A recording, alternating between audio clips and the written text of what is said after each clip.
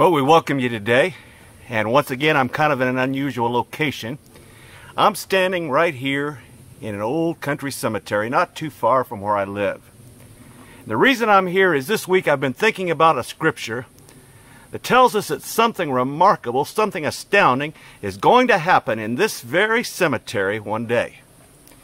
Now, I can think of many, many times I've been in this cemetery. Uh, most of those times that I've been here, I've been here to help in laying to rest the earthly bodies of some loved one. I've also come out here for solitude. This is a very quiet place. I've come out here to pray, to uh, walk, and to think about the things of God. As I walk through this cemetery, I find that everyone here has a name written on their stone. Many of those names are long forgotten to anyone living. Some of them are marked, and people come here and put flowers. Others, it's been many years, I'm sure, since anyone has paid them any mind. Uh, there are stones representing lives that died very young and some very old. Uh, there are stones, undoubtedly, of mothers who died in childbirth, very sad. There are uh, stones of those who died in epidemics over the years. There are stones that are marked with flags representing those who've served this country, and some of them gave their lives. But something else you'll notice about these stones is that nearly all of them are marked with two dates. One of those dates shows the day of their birth. The other date shows the day of their death. And you know, that is, is something that you see on, on every one of these. And in between the day of their, li- their birth and the day of their death is a little dash. And someone has said that dash represents our life. Uh, the Bible tells us that our earthly life is very short, comparatively speaking. Uh, James, the half brother of our Lord Jesus Christ, the natural born son of Joseph and Mary, wrote that our life is just like a vapor that appears for a while and then vanishes away. And then I think of what the psalmist said. He said, Lord, teach us to number our days that we may apply our hearts unto wisdom. Uh, my life this day, the, the part of the dash, the hyphen that I've been living up to this point, is some 21,000 days long. And you know, I have no way of knowing how much longer my life is going to last. I have no way of knowing, but I know there'll come a time when I'm going to leave this world, just as you're going to leave this world. But you know, as I was coming to this cemetery today, a scripture came to mind, and I want to read it to you. It's, it's from the 15th chapter of 1 Corinthians. Because one day the silence of this little country cemetery is going to be broken by a sound that is going to change everything. This silence is going to be shattered by the sounding of a trumpet. The Bible speaks of the trumpet of the Lord. In 1 Corinthians 15, he says, Behold, I show you a mystery.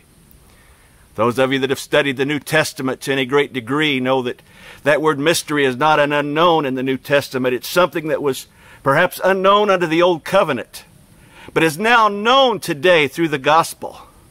So here is something that has been revealed to us in the New Testament that we shall not all sleep. There's going to come one generation that is not going to know that sleep of death. One generation of Christians is going to be alive at the coming of the Lord for his church. So we'll not all sleep, but we'll all be changed in a moment, in the twinkling of an eye, a millisecond. Less time than it takes for you to blink your eye, this change is going to occur. For the trumpet shall sound, and the dead shall be raised incorruptible, and we shall be changed. One day there's going to be a great change in this place. One day there are going to be things happening in this cemetery that we cannot even imagine. And so the title of this message and a recurring theme, something I'm going to repeat throughout this message, is this question, where will you be when the trumpet sounds? Where will you be? I'm telling you today not to get ready, but just to be ready. Jesus said in Matthew 24, Be ye also ready, for in such an hour as you think not, the Son of Man cometh.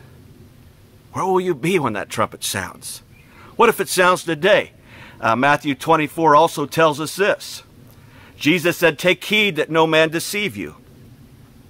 For many shall come in my name, saying, I am Christ, and shall deceive many. And you shall hear of wars and rumors of wars. See that you be not troubled, for all these things must come to pass, but the end is not yet. For nation shall rise against nation, and kingdom against kingdom, and there shall be famines and pestilence, like the coronavirus, for example, and earthquakes in divers places. All these are the beginning of sorrows. Uh, now, individuals will tell me, Pastor Tom, we've had all of these things since the fall of man. We've had wars, and we'll always have wars. That's true. We've had epidemics, we've had pestilences, and in my grandmother's day, she lived through the great Spanish flu epidemic. Uh, her family faced an epidemic of, of uh, typhoid fever and lost some in their family. So earlier generations have seen these pestilences, but the end did not come. And we see there's always been famines in various parts of the world. We see Christians being persecuted to a very great degree today.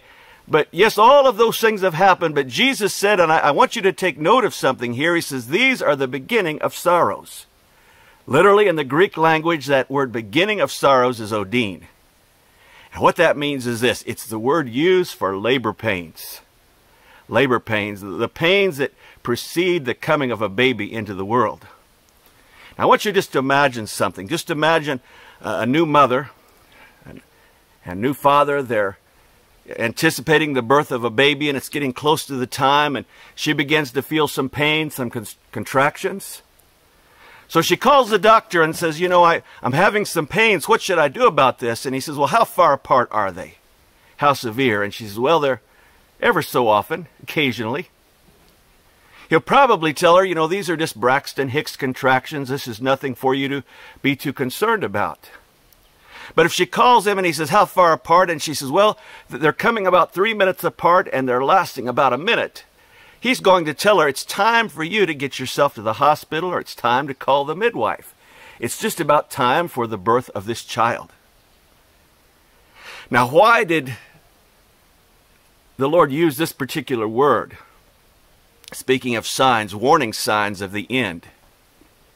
Because even though we've had wars and we've had epidemics and we've had earthquakes, we've had all of these things and these things will continue till the end of time, we can expect that they will grow in duration, they will grow in intensity, and they will grow in frequency, all pointing the way to this fact Jesus is going to come back to this earth.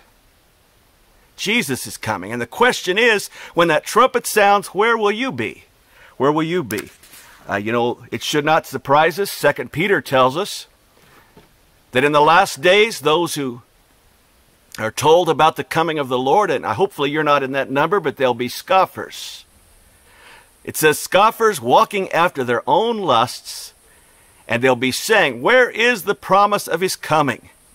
And they'll say these words, Ever since the fathers fell asleep, other words, our ancestors that, that promised us Jesus was coming, ever since they fell asleep, all things remain as they have been. They continue as they've begin, as they have been since the beginning of time. Scoffers. And what they're saying is this, you know, we've heard of the coming of the Lord all of our lives. And what they don't take into consideration is the growing number of signs, warning signs and what they don't take into consideration is this. They don't take into consideration that God's time is not our time. He says in this same scripture that a day with the Lord is as a thousand years, and a thousand years is as a day. And they also don't take into consideration uh, the very fact that God, in His patience, is still giving us time. This is a day of opportunity. He hasn't come because He's not willing that any should perish. And they're also failing to realize that God did indeed change this world drastically one other time. He caused a great catastrophe that destroyed much of this world through Noah's flood. So it shouldn't really amaze us that scoffers will come. The question is, where will you be when the trumpet sounds? I think of Jesus' words in Luke 17. He says, as it was in the days of Noah. So shall it be also in the days of the Son of Man. They did eat, they drank, they married wives, they were given in marriage, until the day that Noah entered into the ark. And the flood came and destroyed them all. Likewise also as it was in the days of Lot. They did eat, they drank, they bought, they sold, they planted, they builded. But the same day that Lot went out of Sodom, it rained fire and brimstone from heaven and destroyed them, destroyed them all. So he tells us they were undoubtedly scoffers before Noah uh, took everything into the ark and, and saved mankind and, and two of every living creature. I'm sure they were scoffers when Lot was warning his family to flee from Sodom and Gomorrah. And there are scoffers now saying that Jesus isn't going to come. But one day he is going to come, and the question is, where will you be? Now, back to this cemetery. Looking around in this cemetery, I see that there are two kinds of people here. Of course, they're all dead. But the two kinds of people that were buried here are number one, some of them made preparation, spiritual preparation, to one day be in the presence of the Lord Jesus Christ. Some of the individuals that are buried here died in faith.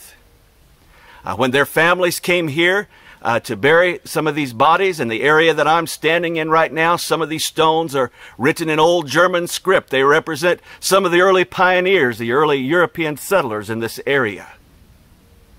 Some of them died in faith, and their family, I'm sure, even through their tears, they rejoiced in knowing that they would see them again. And I'm not the judge, I can't pick and choose, but I also know that undoubtedly there are many here who live their lives without a thought for Christ and they died outside of a relationship with Jesus Christ. And even now, there are two kinds of people in this world. There are those who are prepared for the sounding of the trumpet, and there are those who are not. There are those who know Jesus, and there are those who do not. There are those who are going to heaven, and there are those who are going to hell. And the Bible continually calls us to choose, to make a choice, to make a decision. We choose who we're going to serve. We, we choose our eternal destiny depending on what we do with Jesus Christ. Where will you be when the trumpet sounds? When that trumpet sounds, first of all, I want you to think of this cemetery. What's going to happen to the bodies of those who died in faith? I want you to turn in your Bibles to 1 Corinthians chapter 4, uh, the fourth chapter of 1 Corinthians, and we're going to read a little bit about the sounding of the trumpet. We're going to read a little bit about what's going to happen on that day, what's going to happen to the righteous dead. Uh, you see, the Thessalonians were going through great persecution. Some of them even felt like perhaps the Lord had already come and they'd been left behind. Some of them had had loved ones that had already died and Jesus had not yet come. They expected him to come in their lifetimes, undoubtedly. It hadn't happened. And so they wondered, what does all this mean? And the Lord made it very clear He did not want them, nor does He want us, to be ignorant of those things. The Lord wants us to be informed about what lies after this, this life. He wants us to be informed about things that are going to happen in the last days. He doesn't want us to be ill informed about any of these important truths. So he says in verse 13, But I would not have you to be ignorant, brethren, concerning them which are asleep that you sorrow not, even as others which have no hope. It's kind of interesting, I find, that that word cemetery in the English language is taken from a much older word, and it literally originally meant a dormitory where people slept. So here is a sleeping place. that the bodies of departed souls are, are sleeping, awaiting the day of resurrection. Uh, there are those that believe that our spirit even, even sleeps, but the Bible would differ with that. You know, Jesus, when he was speaking to the repentant thief that was crucified alongside of him, he, he said to that repentant man, This day shalt thou be with me in paradise. And then, of course, the Apostle Paul made it very clear to us that to be absent from this body is to be present with the Lord. And then, of course, you probably even remember when Jesus was transfigured on that Mount of Transfiguration that Moses and Elijah appeared alongside of him, very, very much alive. So, know the spirits, the souls of those who are in this cemetery, those who died in faith, have been in the presence of God, some of them for over 150 years. Of course, that's an eternity. living in eternity in the presence of God. But their bodies are here waiting the day of resurrection. And he says in verse 14, If we believe that Jesus died and rose again, even so them also which sleep in Jesus will God bring with him. So we might ask, how will he bring them with him if their bodies are here? Will their spirits, their souls, when Jesus comes in the clouds of glory to catch his church away, he's going to bring the souls, the spirits of those who've been with him, those who've died in Christ, those who've died in faith, their bodies again, for the Lord himself shall descend from heaven with a shout, with the voice of the archangel, and with the trump of God, and the dead in Christ shall rise first. Then we which are alive and remain shall be caught up together with them in the clouds to meet the Lord in the air, and so shall we ever be with the Lord. Wherefore comfort one another with these words. So he tells us that what is going to happen that one day, like I said, the silence of this graveyard, this country cemetery, is going to be broken by the sound of a trumpet. And in a millisecond, the dead in Christ, those who've loved Jesus, those whose bodies have been here, some of them 150 or more years, they're going to rise from their graves. They're going to be changed in the twinkling of an eye. And if it happens right while I'm preaching this message, if the trumpet sounds, my body will be changed and I'll be caught up. Just a millisecond later, the Bible says, in the twinkling of an eye, caught up to be with the Lord. I'm glad for that day of reunion. I'm glad that one day I'm going to see Jesus and not only am I going to see him, I'm going to see my loved ones that have gone on before. I've lived here for 30 years and I've probably preached close to 200 funerals. And I think of some of those names and I see their names as I walk through these old cemeteries. And I look forward to the day that we will be caught up together to meet the Lord in the air, and so shall we ever be with the Lord. And he tells us that this is supposed to be a comforting thought. For the child of God, he says, comfort one another with these words. But you know what? Not everyone, not everyone in this cemetery was prepared to meet Jesus. That's the sad reality.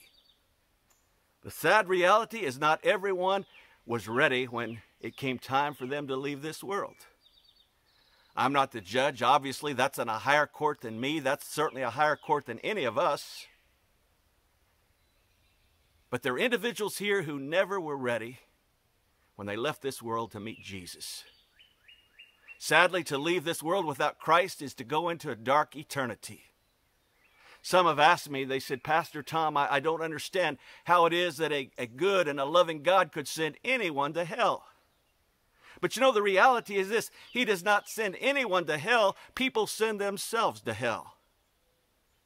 Sometimes people have the idea that hell is sort of Satan's domain, that it's where he rules his evil kingdom from, but the Gospel of Matthew says it's a place prepared as punishment for the devil and his angels. The reason why people go to hell is they go to hell because they have rejected his plan of salvation. And so, those individuals here that did not make their peace with God, what will happen to this place, their graves, when that trumpet sounds? When the silence of this cemetery is shattered by the sounding of a trumpet, the answer to that is absolutely nothing. Their bodies will be resurrected, but many years later, and they'll be resurrected to stand before what the Bible calls the great white throne. And we read about this in Revelation chapter 20. Speaks of that great white throne. He says in verse 11, And I saw a great white throne, and him that sat on it, from whose face the earth and the heaven fled away, and there was found no place for them. So I, I, just imagine on that day that many will try to flee away. They'll try to get away from this judgment, but there'll be no place to hide. And I saw the dead, small and great, stand before God. And the books were open, and another book was open, which is the book of life. Is your name written in the book of life? It can be. And the dead were judged out of those things which are written in the books according to their works. I can stand before God one of two ways. I can stand before God basing my eternity on the finished work of Christ on the cross, or I can stand before God one day at the great white throne and be judged for my works. And I'll tell you something today. If I were to be judged for my works, I would be found lacking. If I were to be judged for my works, I would have no other alternative but to be spending eternity in hell. But I'm glad that when I stand before God, I will not be dressed in my righteousness, but dressed in His righteousness alone, faultless to stand before the throne. So, we need to make a decision. Are we going to place our faith in Christ? Or are we going to place our faith in something else? Are we going to gamble our eternity away or are we going to give our lives to Christ and make sure that when the trumpet sounds that we're ready to meet him? He goes on to say in verse 13, and the sea gave up the dead which were in it. And death and hell delivered up the dead which were in them, and they were judged every man according to their works. Some have asked me, what about those who were cremated? What about those who were lost at sea? What about those whose bodies were never recovered? The answer is that God will also raise them by some miracle so that they can stand and face final sentencing at the great white throne. You see, just as to be absent from this body is to be present from the Lord, for an unsaved person to be absent from the body is to be in hell, awaiting the final judgment. So when I look at this place, and it's a sobering thought to think that some of the individuals who lie in this place are in the presence of God, and some of them are separated from God. And even today, as we prepared this message, I realize that even some of you that are listening, some of you have prepared and some of you are unprepared. Which sin is it that will cause those individuals at that great white throne to be facing final judgment? Is it the sin of adultery? Is it the sin of murder? Lying? Is it the sin of sexual perversion? What is it? The answer is very simple it's a rejection of his plan of salvation. It's a rejection of Jesus Christ. The offer has been made. Uh, the Bible tells us that God is not willing that any should perish. He does not want you to go to hell. He does not want me to go to hell. If we're ever in doubt about that, we only need to think of Calvary, where a sinless Savior gave his life on the cross so that we could be ready one day to go to heaven. So, where will you be when the trumpet sounds? Where will you be when Jesus comes? I hope that you know, and I pray that you know, that your life, your soul, your all, your eternity is in the hands of Jesus. Let's pray. Father, today we praise you and we thank you, Lord God. We thank you, Lord God, as we stand in this place, Lord God, a, resting place, a dormitory, a sleeping place for the bodies of those who've gone on before. We're glad today that our hope can be in the Lord Jesus Christ. We're glad that when the trumpet sounds one day, Lord, we can be ready to meet Jesus. Father, I pray that every one of us would live in readiness. Lord, I believe we're racing toward judgment. We're racing toward the coming of the Lord. And I pray that you'll help us all to place our trust in you, that we can be ready. Thank you for the blessed hope that we have of your return.